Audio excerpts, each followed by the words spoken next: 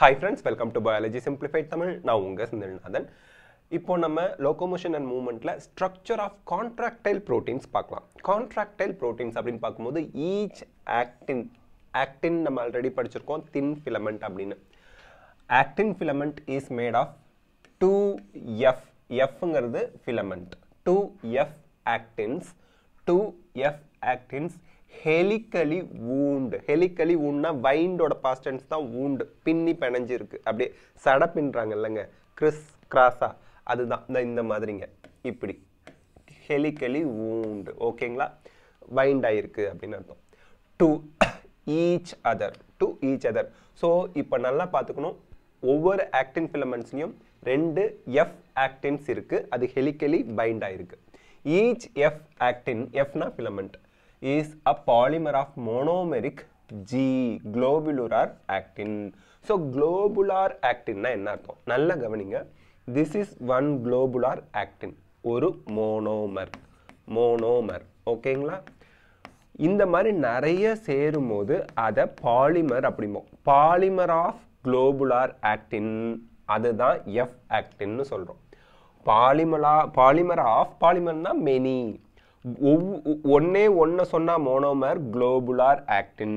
நிறைய globular actin குளோபுலார்னா உருண்டையாக இருக்குது லட்டு மாதிரி உருண்டையாக இருக்குன்னு அர்த்தங்க. ஸோ அந்த குளோபுலார் ப்ரோட்டீன்ஸ்லாம் நிறைய சேர்ந்து ஒரு ஃபிலமெண்டஸ் ஸ்ட்ரக்சரை ஃபார்ம் பண்ணுது. அதுதான் எஃப் ஆக்டின் ஓகேங்களா? ரொம்ப சிம்பிள் டயக்ராமில் கொடுத்துருப்பா பாருங்க அழகாக புரிஞ்சுக்கலாம். This is one globular protein இது ஒன்று ரெண்டு மூணு நாலுன்னு எக்கச்சக்கமாக அப்படியே உங்களுக்கு இப்படி போகுது. ஸோ இது ஒரு F actin and this is another இது இப்படி போயிட்டு பாருங்கள் பாருங்க கலரில் இது ஒரு எஃப் ஆக்டின் ஸோ ரெண்டு எஃப் ஆக்டின் இருக்குது ஒவ்வொரு எஃப் ஆக்டினும் பாலிமர் ஆஃப் குளோபுலார் ஆக்டினால் அணைச்சி குளோபுலார் ஆக்டின்ங்கிறது ஒரு மோனமர் உருண்டையாக இருக்குது லட்டு லட்டாக பச்சை கலர் இருக்குது பார்த்தீங்களா அவ்வளவுதான். ரொம்ப ஈஸி படத்தில் தெளிவாக கொடுத்துருக்காங்க. என்சிஆர்டி மாதிரி ஒரு சிம்பிளிஃபைடு ஒரு டெக்ஸ்ட் புக் உலகத்திலேயே கிடையாது. Okay two filaments of another protein இன்னும் ரெண்டு ஃபிலமெண்ட் இருக்குது இன்னொரு ப்ரோட்டீன் இன்னொரு ப்ரோட்டீன் யார்? Tropomyosin also run close to F actins throughout its length இதில் கயிறு மாதிரி ரெண்டு வரைஞ்சிருக்காங்க பாருங்கள் இதை தான் ட்ரோபோமயோசின் அப்படின்னு சொல்கிறோம் ட்ரோபோமயோசின் அப்படிங்கிறோம். எஃப் ஆக்டின்ங்கிறது என்ன? It is a polymer of ஒரு monomer globular actin globular actin இந்த எஃப் ஆக்டின் ரெண்டு இருக்குது எஃப் ஆக்டினுடைய க்ளோஸ்லி பேக்கடாக இருக்கிறது யார்? ட்ரோபோமயோசின் அதுவும் ரெண்டு இருக்குது அதுவும் உங்களுக்கு ஹெலிக்கலாக இருக்குது a complex protein troponin is distributed at regular intervals on the tropomyosin ட்ரோபோமயோசினில் ஒரு காம்ப்ளெக்ஸ் ப்ரோட்டீன் ட்ரோபோனின் அந்த ஒரு பர்டிகுலர் டிஃப்ரெண்ட் டிஸ்டன்ஸில் பர்டிகுலர் டிஸ்டன்ஸில் உங்களுக்கு அந்த காம்ப்ளெக்ஸ் ப்ரோட்டீன் இருக்குது எது மேலே இருக்குது ட்ரோப்போ மயோசின் மேலே இருக்குது அதான் troponin in the resting state a subunit of tropo troponin mask இது நல்லா பார்த்துக்கங்க. இன்னைக்கு படிக்கிறதுல வரும் நீட்டுக்கும் வரும். Mask the active binding sites for myosin on actin filament so actin ஃபிலமெண்ட்டும் myosin ஃபிலமெண்ட்டும் பைண்ட் ஆகிற ஆக்டிவ் பைண்டிங் சைட்டை ட்ரோபோனின் வந்து மாஸ்க் பண்ணுது. மாஸ்க்னா மறைக்குது தடுக்குது. அதுதான் ட்ரோபோனின் பண்ணிட்டு இருக்கிறது எப்போ ரிலாக்ஸிங் ஆர் ரெஸ்டிங் ஸ்டேட்டில் ரெஸ்டிங் ஸ்டேட்னா நார்மலாக மசில் மூவ்மெண்ட் இல்லாமல் இருக்கும்போது ட்ரோபோனின் வந்து active binding site for myosin and actin ஃபிலமெண்ட்ஸை mask பண்ணுது மறைக்குது தடுக்குதுன்னு அர்த்தம். அவ்வளோதான் இப்போ ரொம்ப அழகாக ஆக்டின் நம்ம ஞாபகம் வச்சுக்கலாம். இதில் ரெண்டு எஃப் ஆக்டின் புரோட்டீன் ஃபிலமெண்ட் இருக்குது இந்த F actin made up of globular proteins globular ஆக்டின்ங்கிறது monomer ஒவ்வொரு உருண்டை. இது அப்படியே பாலிமராக சேர்ந்து தான் எஃப் ஆக்டினை ப்ரொடியூஸ் பண்ணுது.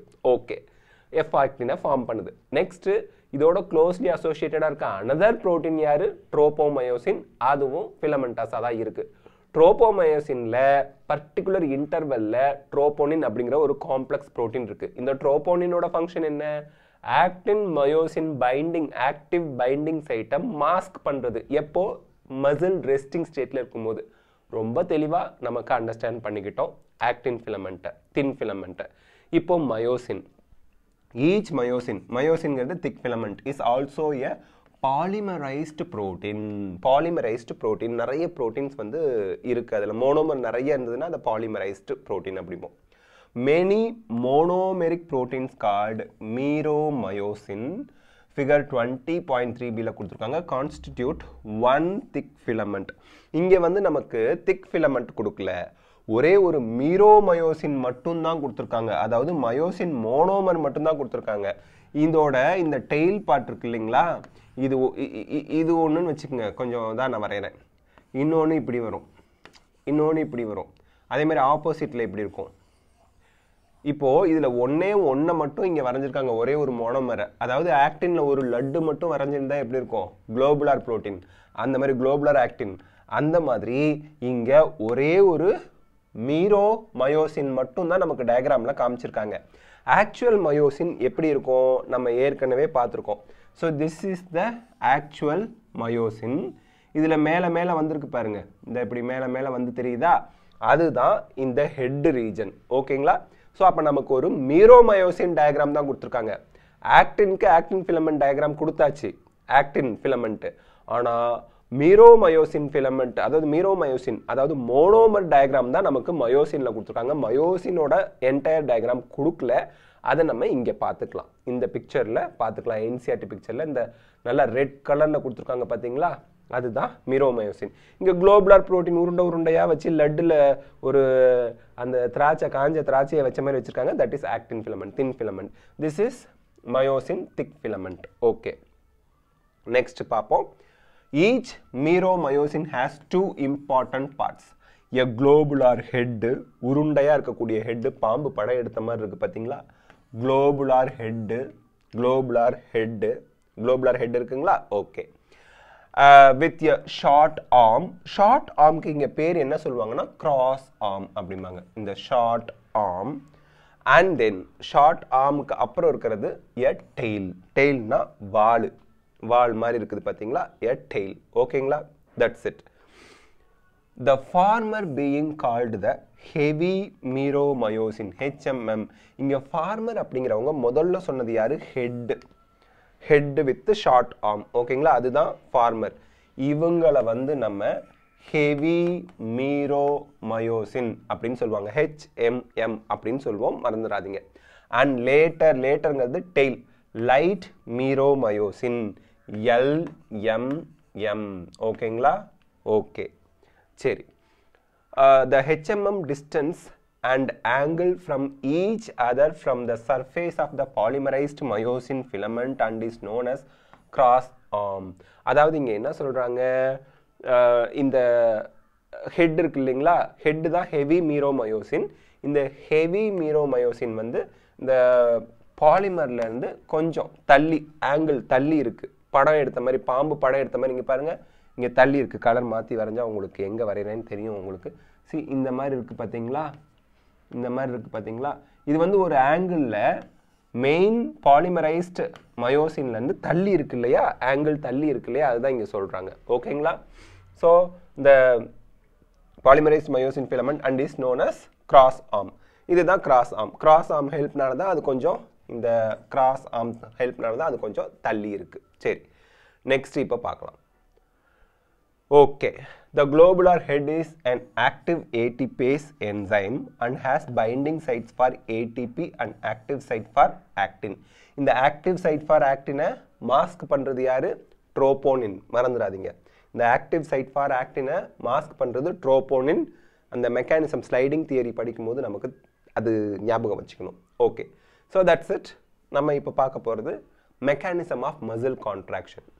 Mechanism of muscle contraction is best explained by sliding filament theory troponin mask பண்ணிக்கிட்டு இருக்கு ஞாபகம் வச்சுங்க எதை active binding site between myosin and actin which state the contraction of muscle fiber takes place by the sliding of the thin filament actin slide பண்ணுது ஓகேங்களா over the thick filament thick filamentக்கு மேல thin filament என்ன பண்ணுது slide பண்ணுது ஸ்லைட்னா அப்படி move பண்றது இல்லையா இப்படி ஸ்லைட் அப்படி வலுக்கிக்கிட்டு போகிறது அப்படி அப்படி தள்ளுறது லீவர் வச்சு அப்படி தள்ளி விடுறது.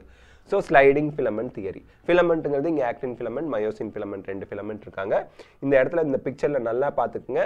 இந்த நடுவில் இருக்கிறது ஆக்ட் மயோசின் ஃபிலமெண்ட் இந்த உருண்டை உருண்டையாக போட்டு வரைஞ்சிருக்கிறது actin filament actin myosin filament தான் ஸ்லைடிங் தியரியில் ஸ்லைடிங் ஃபிலமெண்ட் தியரியில் நம்ம டீட்டெயிலாக படிக்க போகிறோம் muscle contraction is initiated by signal sent by the central nervous system via motor neuron very important muscle contraction initiate பண்றது central nervous systemத்தில் இருக்கக்கூடிய motor neuron motor neuron motor நியூரான்னா functioning பண்றதுக்கு ஹெல்ப் பண்ற நியூரான்ஸ் நியூரான் தான் என்னது basic unit of nervous system இல்லையா okay a motor neuron along with the muscle fibers connected to it constitute a motor unit இப்போ தெளிவாக புரிஞ்சுக்கணும்.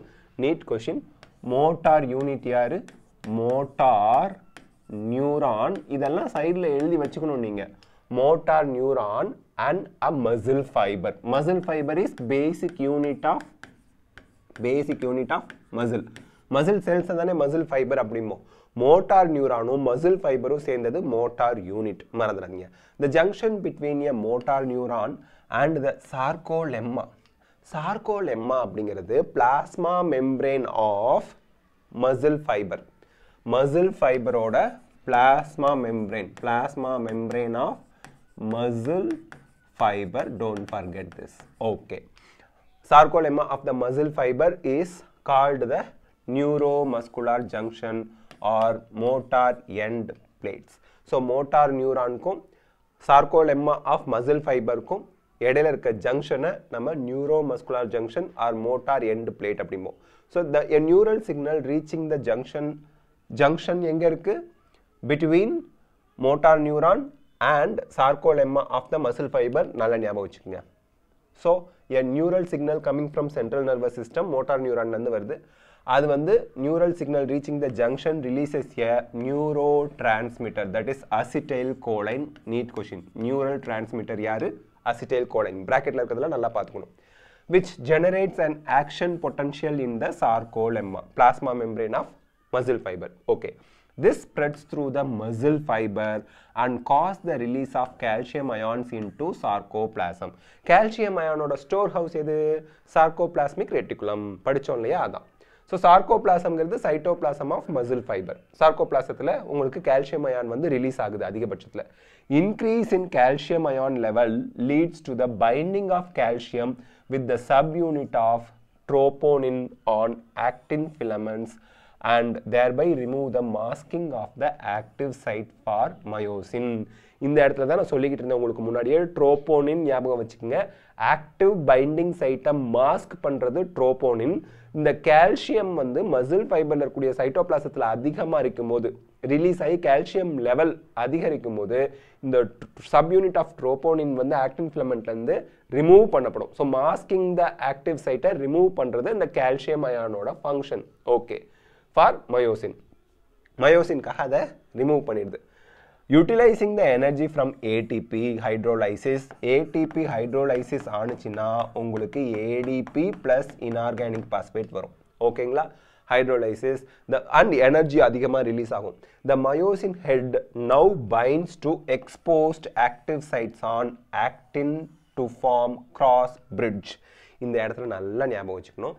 கால்சியம் அயான் மசில் ஃபைபரில் இருக்க சார்கோபிளாசத்தில் increase ஆகும்போது இந்த ட்ரோபோனின் மாஸ்க் பண்ணிட்டு இருக்கிறத ரிமூவ் பண்ணி விட்டுருது. யாருக்காக? மயோசின் வந்து அதோட போய் பைண்ட் ஆகிறது. ஆக்டினோட போய் பைண்ட் ஆகிறதுக்கு. இப்போ மயோசின் ஹெட் ஆக்டின் ஃபிலமெண்ட்ல போய் பைண்ட் ஆகலாம். ஏன்னா மாஸ்க்கை கால்சியம் அயான் இன்க்ரீஸ் ஆனதுனால இன்க்ரீஸ் ஆனதுனால ட்ரோபோனின் மா கிரியேட் பண்ண மாஸ்க்கை அது ரிமூவ் பண்ணிடுச்சு. ஓகேங்களா? மறக்கக்கூடாது. So remove பண்ணிட்டதுனால myosin actin cross bridge form ஆயிடுச்சு. திஸ் இங்கே வந்து பார்த்தீங்கன்னா தெரியும். ஏடிபி ஹைட்ரோலைஸ் ஆகி ATP plus inorganic phosphate and எனர்ஜியை ரிலீஸ் பண்ணிச்சு. அந்த எனர்ஜியை யூஸ் பண்ணி இந்த மயோசின் ஹெட்டு ஆக்டின் ஃபிலமெண்ட்டோட போய் அட்டாச் ஆகி கிராஸ் பிரிட்ஜை ஃபார்ம் பண்ணிடுச்சு. இந்த ட்ரோபோனின் மாஸ்கிங்கை ரிமூவ் பண்ணுறதுக்கு ஆக்டினில் ரிமூவ் பண்ணுறதுக்கு கால்சியமோட இன்க்ரீஸ்டு அந்த கால்சியம் அயான் கண்டென்ட் ஹெல்ப் பண்ணும். கால்சியம் அயான் இன்க்ரீஸ் பண்ணுறதுக்கு காரணம் அந்த மோட்டார் நியூரான்ஸ்லேருந்து வரக்கூடிய அந்த நர்வஸ் இம்பல்ஸ் வந்து ஸ்ப்ரெட் ஆகிறது. So that sarcoplasm sarcolemma சார்கோ பிளாசத்தில் கால்சியம் அதிகமாக ரிலீஸ் ஆகும். ரிலீஸ் ஆகி ட்ரோபோனின் மாஸ்க்கை என்ன பண்ணிடும்? ரிமூவ் பண்ணிடும். ஓகே ஸோ தட் இப்போ வந்து மயோசின் ஹெட்டு ஏடிபியை யூஸ் பண்ணி ஏடிபியை ஹைட்ரோலைசிஸ் பண்ணி A T P plus inorganic பஸ்பேட்டாக வர அண்ட் எனர்ஜி அதை யூட்டிலைஸ் பண்ணி மயோசின் ஹெட்டு ஆக்டின் ஃபிலமெண்ட்டில் இருக்கக்கூடிய ஆக்டிவ் பைண்டிங் சைட்டோட போய் ஜாயிண்ட் ஆகிறது கிராஸ் பிரிட்ஜ் ஃபார்மேஷன் அப்படின்னு சொல்லுவோம் ஓகே இது வரைக்கும் பார்த்தாச்சு so and then cross bridge this cross bridge this pulls the attached actin filament towards the center of a band the z line attached to the to these actins are also pulled inward thereby causing a shortening of the sarcomere that is contraction it is clear from the above steps that during shortening of the muscle that is contraction the I band gets reduced whereas the A band retain the length இது NEET question இது என்னன்னு நான் உங்களுக்கு explain பண்ணுறேன் இது வரைக்கும் so இப்போ என்ன ஆகுது உங்களுக்கு ஆக்டின் ஃபிலமெண்ட்ஸ் வந்து புல் பண்ணப்படுது towards the centre of A band உங்களுக்கு தெரியும் இந்த பேண்டெல்லாம் படித்தோம் நம்ம ஆல்ரெடி ஓகேங்களா இங்கே பாருங்கள் ஏ பேண்டு இந்த ஆக்டின் இந்த ஆக்டின்கிறது உருண்டை உருண்டையாக இருக்கிறது. மயோசின் ஹெட்டு ஆக்டினோட போய் பைண்ட் பண்ணி இதை உள்ள நோக்கி இழுக்கும். இது போய் இப்படி பைண்ட் ஆகி இப்படி இழுக்கும். ஸோ ரெண்டு சைடும் உள்ள நோக்கி இழுக்கிறது தான் நம்ம கான்ட்ராக்ஷன் அப்படிங்கிறோம். அப்போ அந்த ஐ பேண்ட் வந்து சுருங்கி வரும். But A band சுருங்காது. A band unaffected during the contraction மறந்துடாதீங்க நீட் கொஷின் ரெண்டு இசட் லைன் இந்த பிளாக் கலர் இருக்குல்ல ரெண்டு இசட் லைனுக்கு இடையில இருக்கிறது தான் நம்ம சார்கோமியர் அப்படிம்போம். இந்த ரெண்டு இசட் லைனும் சுருங்குறதுனால சார்கோமியரோட லென்த்தும் சுருங்கிடும். ஓகேங்களா மறந்துடாதீங்க ஸோ அதுதான் அவங்க சொல்கிறாங்க okay the A band retains the length பார்த்துக்குங்க. The myosin releasing the ATP and inorganic phosphate goes back to its relaxed state, a new ATP binds and the cross bridge is broken. The ATP is again hydrolyzed by the myosin head and the cycle of cross bridge formation, cross bridge formation and breakage is repeated causing further sliding. The process continues till the calcium ions are pumped back to the sarcoplasmic cisternae. Sarcoplasmic reticulum or sar sarcoplasmic cisternae அந்த muscle ஃபைபரில் இருக்கக்கூடிய endoplasmic reticulum resulting in the masking of actin filament masking of actin filament பண்ண போகிறது troponin this causes the return of Z line back to their original position that is relaxation இந்த இடத்துல நல்லா ஞாபகம் வச்சுக்கங்க. சி இந்த பிக்சரில் தெளிவாக கொடுத்துருப்பாங்க. ஏடிபி ஹைட்ரோலைஸ் ஆகி ஏடிபி ப்ளஸ் இன்ஆர்கானிக் பாஸ்பேட்டை ப்ரொடியூஸ் பண்ணிச்சு. அதுக்கு முன்னாடியே கால்சியம் என்ன பண்ணிச்சு? ட்ரோபோனின் மாஸ்கிங்கை ரிமூவ் பண்ணிடுச்சு இந்த மயோசின் ஹெட் ஆக்டினோட போய் பைண்ட் பண்ணி கிராஸ் பிரிட்ஜை ஃபார்ம் பண்ணி இதை கொஞ்சம் புல் பண்ணும் உள்ளே நோக்கி இழுக்கும். உள்ளே நோக்கி இழுத்ததுக்கப்புறம் திருப்பியும் ஒரு ஏடிபியை யூட்டிலைஸ் பண்ணி ஏடிபி ப்ளஸ் இன்ஆர்கானிக் பாஸ்பேட்டாக ஹைட்ரோலைஸ் பண்ணி இந்த கிராஸ் பிரிட்ஜ் வந்து ரிலீஸ் பண்ணிடும் ரிலீஸ் பண்ணது திருப்பி ஒரு ஏடிபியை யூஸ் பண்ணி கிராஸ் பிரிட்ஜ் ஃபார்மேஷனை பண்ணும். ஸோ இந்த சைக்கிள் கண்டினியூ ஆகிக்கிட்டே இருக்குங்க. இப்போது see first cross bridge form பண்ணும்போது உங்களுக்கு இந்த இசட் லைன் இசட் லைனோட அளவு வந்து குறைஞ்சிருக்கு. அண்ட் ரெண்டு இசட் லைனுக்கு இடையில இருக்கிறது தான் சார்கோமியர்னா அந்த சார்கோமியரோட டிஸ்டன்ஸும் குறைஞ்சிருக்கு அப்படிங்கிறத பார்க்குறோம். அண்ட் தென் எகெயின் இந்த இது கான்ட்ராக்ஷன் கண்டினியூ ஆகும்போது இன்னும் அது சுருங்கும். ஓகேங்களா சரி. இப்போ கான்ட்ராக்ஷன்லாம் முடிஞ்சிருச்சு. கான்ட்ராக்ஷன்லாம் முடிஞ்சிருச்சு. இப்போது மசில் நார்மல் ஸ்டேட்டுக்கு போகணும். அதுக்கும் அது என்ன பண்ணும்? ஏடிபியை யூஸ் பண்ணும். ஏடிபியை யூஸ் பண்ணும். நார்மல் ஸ்டேட்டுக்கு போகும்போதும். ஓகேங்களா so the process continues still the calcium ion are pumped back to the sarcoplasmic cisternae இந்த இடத்துல நல்லா ஞாபகம் வச்சுக்கோங்க. ரிலாக்ஸேஷன் நடக்கணும் அப்படின்னா இப்போ மசில் ஃபைபர் செல் இப்படி இருக்குன்னு வச்சுக்கோங்களேன். அதில் நியூக்ளியஸ் இப்படி இருக்குது இதில் ஃபுல்லாக உங்களுக்கு சார்கோபிளாஸ்மிக் ரெட்டிகுலம் இருக்குது சார்கோபிளாஸ்மிக் ரெட்டிகுலமில் சிஸ்டர்னே இந்த மாதிரி இருக்கும். இது கான்ட்ராக்ஷன் நடக்கணும் அப்படின்னா கால்சியத்தை சார்கோபிளாசத்துக்கு ரிலீஸ் பண்ணும் சார்கோபிளாசம்னா சைட்டோபிளாசம் ஆஃப் த மசில் ஃபைபருக்கு ரிலீஸ் பண்ணிக்கிட்டே இருக்கும். ரிலீஸ் பண்ண பண்ண அந்த நியூரல் சிக்னல்லாம் வந்ததுக்கப்புறம் மோட்டார் நியூரான்லாம் மோ அந்த ஆக்ஷன் பொட்டன்ஷியலை ரிலீஸ் பண்ணதுக்கப்புறம் அந்த ஆக்ஷன் பொட்டன்ஷியல் ஃபுல்லாக ஸ்ப்ரெட் ஆகி எல்லா கால்சியம் அயானும் சார்கோபிளாஸ்மிக் ரெட்டிகுலத்துலேருந்து சார்கோபிளாசத்துக்கு வந்து அண்ட் தென் என்ன பண்ணுது உங்களுக்கு? Actin filament myosin filament actin ஃபிலமெண்ட்டில் இருக்கக்கூடிய ட்ரோபோனின் மாஸ்க்கை ரிமூவ் பண்ணிடுது. இப்போது இந்த இடத்துல என்ன சொல்கிறாங்க ரிலாக்ஸ் ஆகும்போது கான்ட்ராக்ஷன் நடக்கும்போது அப்படி நடக்குது. ரிலாக்ஸேஷன் நடக்கும்போது எல்லா கால்சியம் அயானும் திருப்பியும் சார்கோபிளாஸ்மிக் ரெட்டிகுலத்துக்கு வந்துரும். சார்கோபிளாஸ்மிக் ரெட்டிகுலம் சிஸ்டன்ங்கிறது அந்த ரெட்டிகுலத்தோட ஒரு பார்ட் எண்டோபிளாஸ்மிக் ரெட்டிகுலத்தோட ஒரு பார்ட் தான். எல்லா கால்சியம் அயனும் pumped back to sarcoplasmic reticulum so that உங்களுக்கு சிஸ்டர்னே ஸோ தட் என்ன ஆகும்? Calcium ion in calcium ion in sarcoplasm என்ன ஆயிடுச்சு? குறைஞ்சிருச்சு. இப்போ ஆக்சுவலி என்ன ஆகும்? ஆக்டின் ஃபிலமெண்ட்ல ட்ரோபோனின் வந்து மாஸ்க் பண்ண ஆரம்பிச்சிடும் மயோசின் ஹெட் வந்து பைண்ட் ஆகாத மாதிரி மாஸ்க் பண்ண ஆரம்பிச்சிடும் resulting in the masking of actin filaments அப்போது myosin actin cross bridge formation நடக்காது.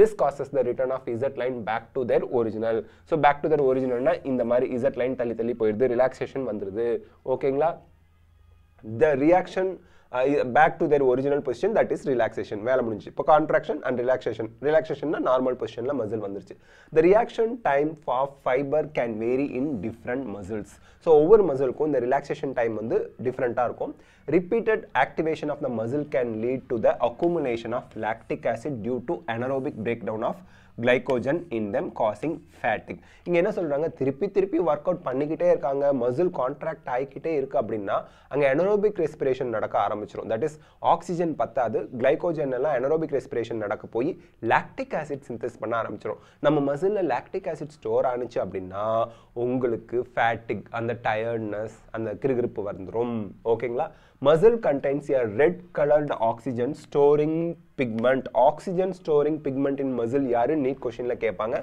myoglobin myoglobin content is high in some of the muscles which gives a reddish appearance so reddish appearanceல இருக்கக்கூடிய musclesல myoglobin ஜாஸ்தியா இருக்கிறதுனால அங்க oxygen அதிகமா store பண்ணி வச்சுக்க முடியும் ஸ்டோர் பண்ணி வச்சுக்க முடியும் NEET question such muscles are called red fiber these muscles also contain plenty of mitochondria which can utilize the large amount of oxygen stored in them for ATP production so ஆக்சிஜனை store பண்ணி வைக்க myoglobin இருக்கு.